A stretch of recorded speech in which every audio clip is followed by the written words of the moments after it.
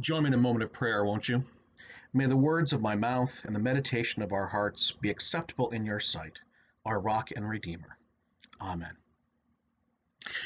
Today's sermon title is Listening for the Echoes of Pentecost.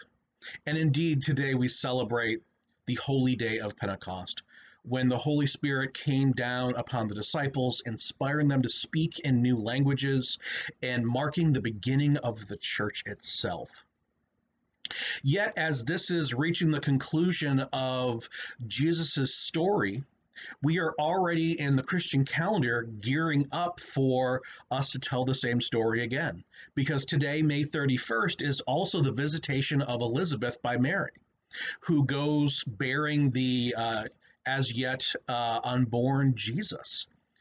And this is one of the patterns that we have in Christianity is that we tell these stories again and again in cycles to remind us of deeper truths and to hear echoes of one story upon another. Now, beyond it just being these two Christian holidays, it's also the Jewish holiday of Shavuot. Now, just like Easter um, runs parallel with Passover, so too does Pentecost run parallel with Shavuot. Now, Shavuot itself is something that the disciples probably celebrated, and it is in itself a double holy day. It marks, on one level, the start of the wheat harvest and the end of the barley harvest in Israel, but it also marks when the Jews were given the Torah on Mount Sinai. And oftentimes, Christianity has these same sort of spiritual echoes that play out. Because just as the coming of the Holy Spirit is essential to our Christian faith, so too is the gift of the Torah essential to our Jewish sisters and brothers. Uh, in many ways, you could almost look at them as being equally important. Now, Christianity is often founded with these echoes and hints that come from either our predecessor faiths or different cultures that we have associated with over time, and we grow together. And this is, uh, in my opinion at least, uh, a diversity. It is a gift. It is blessings that we are able to see God intersecting on so many different levels. And so, as we celebrate this Pentecost, we also should be celebrating with our Jewish brethren and sisterin that they too are receiving the Torah. Because our faith is not just built from one source, but from many sources. And if we try to shadow that or or deny that or overcome that oftentimes that harms our relationship with other faiths and other cultures and these are the kinds of wounds that we need to help heal over time because otherwise it will lead to things like uh, hatred and anti Semitism and other ways in which religions have split from one another instead of coming together and recognizing that we share many of the same essential truths.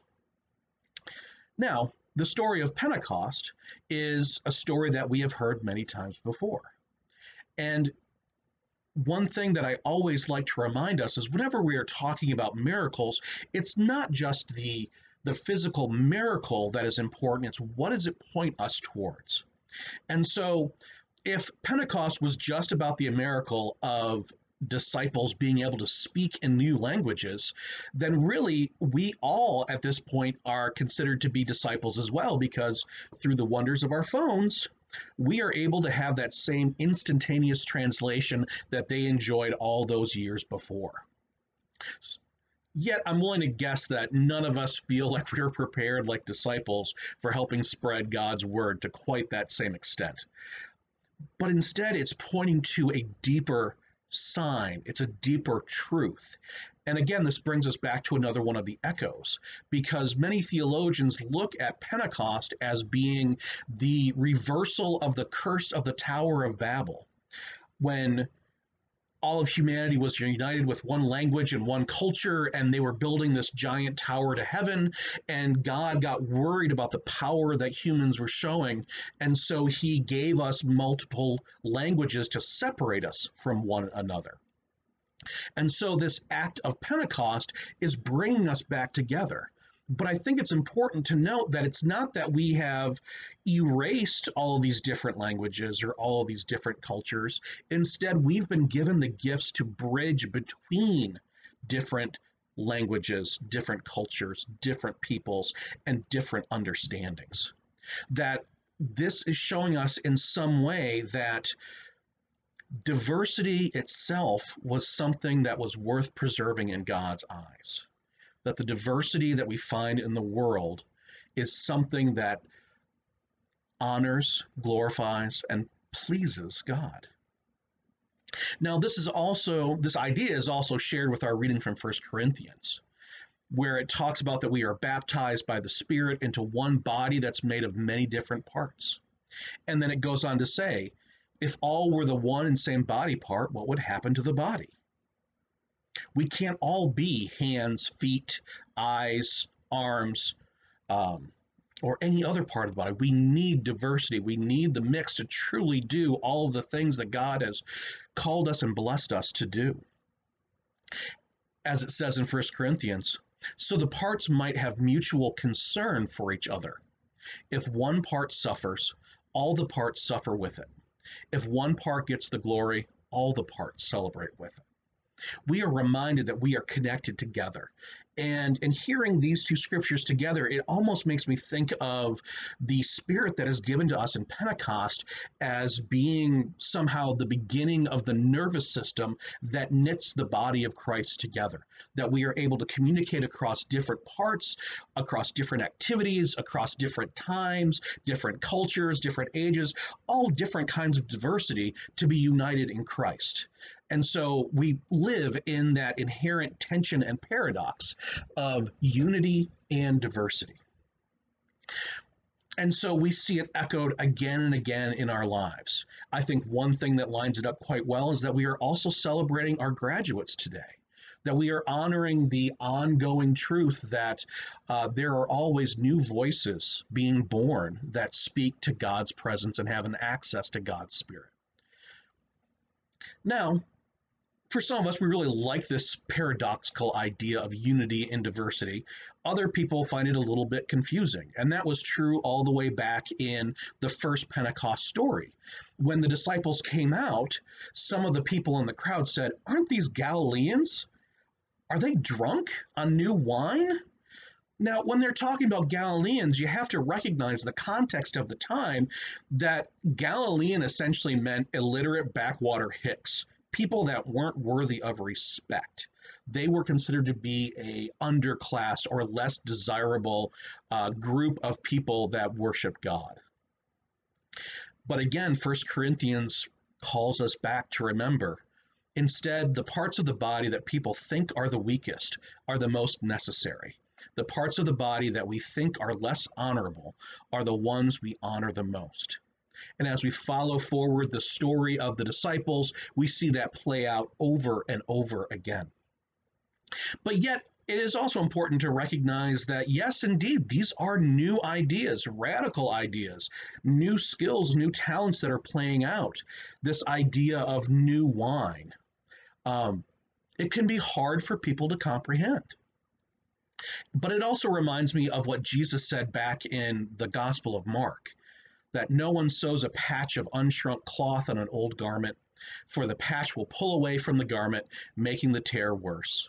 Neither do people pour new wine into old wineskins.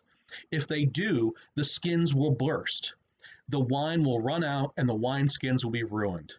No, they pour new wine into new wineskins, and both are preserved. And that is part of what this Pentecost Sunday and the beginning of the church is teaching us as well, or is showing to us, or is echoing back to us again. That new wine, new ideas, new movements of the Spirit oftentimes requires new wineskins, that it won't easily fit into existing structures. And so, even though the words that the disciples were preaching were the words of Jesus, and the words of Jesus could be seen both as a New Testament and a renewal of the Hebrew Testament, it ultimately led to not just one, but many different expressions of new faith. And just as it's true back then, so too is it true again and again in our Christian history it seems like every 500 years there is some new wine that bursts through the wineskins and causes us to find a new style of Christianity or new styles of Christianity. And I can't help but thinking that we might be getting into another one of those times again. I don't need to share with you how chaotic, crazy, and different the last few months have been with this pandemic. We've seen many wineskins burst as we've had new problems and new challenges put in front of us, and we're still trying to figure out how to best care for one another. But we've had even more disruption in the last few weeks and in the last week after uh, the reports of Ahmaud Arbery being killed for jogging while black, Amy Cooper weaponizing her whiteness against a black man, Chris Cooper, that was just trying to look at birds.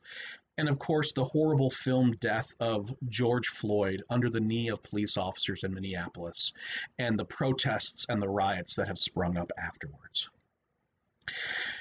I'm sure many of you are struggling for words just as I am. And so I try to fall back on the strength of the, my spiritual forebears, both the Bible, but also in this case, the words of Dr. Martin Luther King Jr. Back in 1968, he was giving a speech in the high school of Grosse Pointe, Michigan, and he was talking about the riots that were going on in that time. And this is what he had to say It is not enough for me to stand before you tonight and condemn riots. It would be morally irresponsible for me to do that without, at the same time, condemning the contingent, intolerable conditions that exist in our society.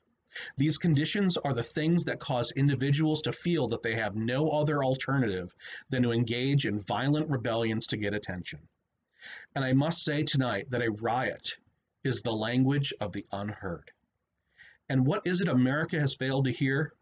It has failed to hear that the plight of the Negro poor has worsened over the last 12 or 15 years. It has failed to hear that the promises of freedom and justice have not been met. And it has failed to hear that large segments of white society are more concerned about tranquility and the status quo than about justice and humanity. A riot is the language of the unheard important words to hear on this Pentecost Sunday when we are being charged to speak in new ways, to be able to be heard by different people, and perhaps also to listen to those that are also blessed by the Spirit, that may be speaking in ways that we do not initially recognize.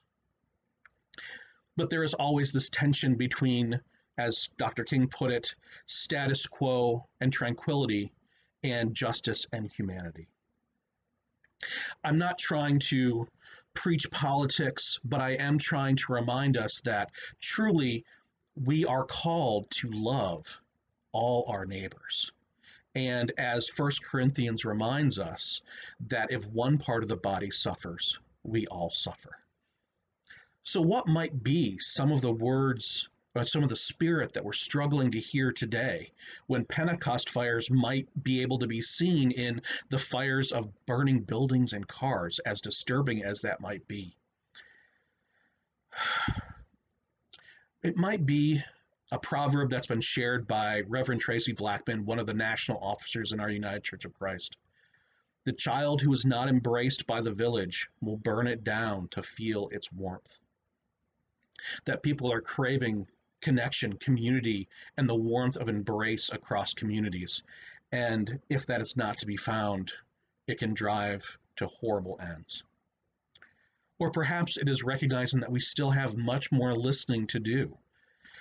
Because just like we shared before, or I shared before, that Pentecost is not just existing by itself, that it also is built on the Jewish uh, festival of Shavuot, and it also lines up this year with the visitation of Elizabeth to Mary, or married to Elizabeth, sorry. We also have to recognize that the current troubles that we are going to are built upon and are echoes of earlier unresolved wounds.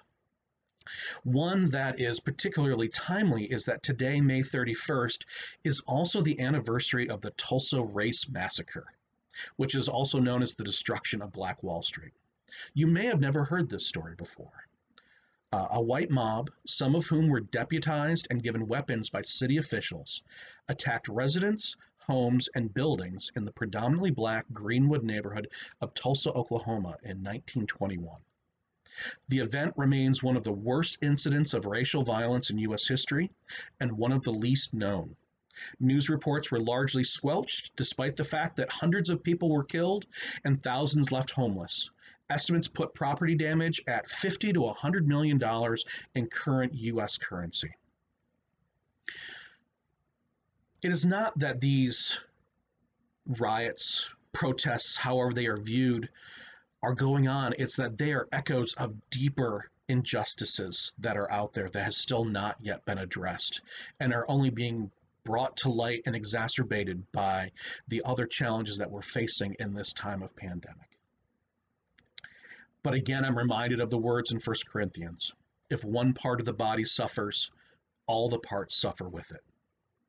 A major part of the body of Christ here in the United States is suffering, and they are asking to no longer be ignored. Or to put it in a little bit different way, if one part of the body of Christ can't breathe, then all of the body of Christ can't breathe.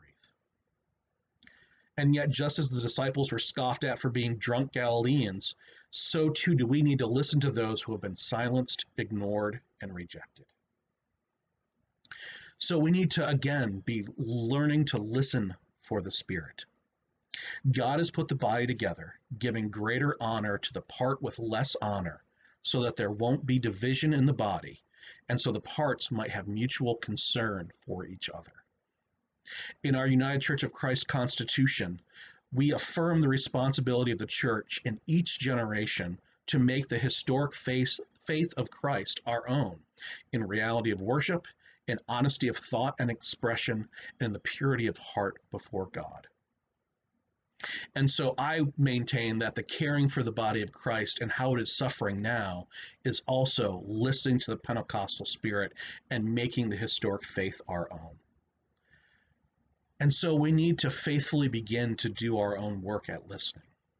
There are some uh, possibilities that I'm going to list links to in the bulletin right underneath this video. One is uh, something that's very timely that will be happening uh, tonight at six o'clock. It is a showing uh, by the UCC of the sermon "The Cross and the Lynching Tree," preached by Reverend Otis Moss. You can subscribe to that, and there'll be a discussion afterwards, and you can sign up for it um, on that link. I would also encourage us to ground ourselves, not just get caught up in the moment to moment politics and discussion, but to remind ourselves of the different faith truths. I think one place to start, as I've encouraged us to do before, is to reread Dr. Martin Luther King's letter from Birmingham jail. And also to reread his speech or read his speech called The Other America that I quoted earlier. There are also many resources that are out there that are geared towards helping those of us that might not have examined uh, our own racial privileges and uh, biases. Uh, again, I will link to one in the in the bulletin. It's called Anti-Racism Resources for White People. I invite us as we celebrate the spirit of Pentecost and celebrate the Holy Spirit coming down upon us and giving us new voice, that we also pray that we are able to hear the echoes of justice as a central part of our Christian faith and in the Pentecostal spirit that we are seeking today and every day. Amen.